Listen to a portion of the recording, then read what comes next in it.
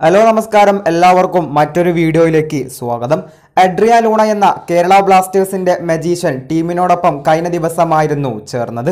കൂടുതൽ അപ്ഡേറ്റിലേക്ക് കടക്കും മുമ്പ് ചാനൽ ആദ്യമായി കാണുന്നവരാണെങ്കിൽ തീർച്ചയായിട്ടും സബ്സ്ക്രൈബ് ചെയ്യുക പിന്തുണക്കുക കേരള ബ്ലാസ്റ്റേഴ്സിന്റെ മിഡ്ഫീൽഡിലെ നായകൻ അതെ സൂപ്പർ താരം അഡ്രിയ ലൂണ കഴിഞ്ഞ ദിവസം ടീമിനോടൊപ്പം ചേർന്നിരുന്നു.